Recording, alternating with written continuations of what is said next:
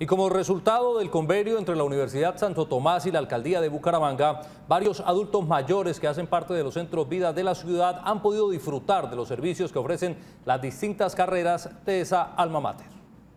Como un aporte de los estudiantes que realizan sus carreras para los adultos mayores, los futuros profesionales brindan sus prácticas en las carreras que se desempeñarán. Estas jornadas de salud están dirigidas a todos los adultos mayores de la población vulnerable de Bucaramanga que asisten a nuestros centros vida y pues la idea es que se beneficien.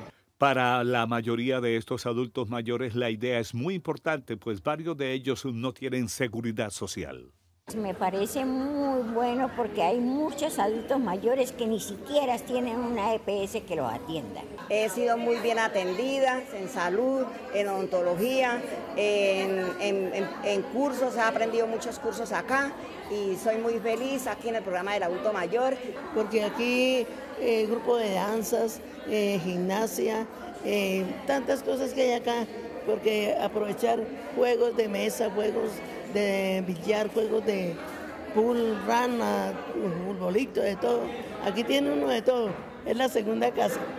Las carreras que quedarán a disposición de los adultos mayores son odontología, optometría, cultura física y educación física, que son puestas en práctica en los centros Vidas Álvarez, Norte y Años Maravillosos.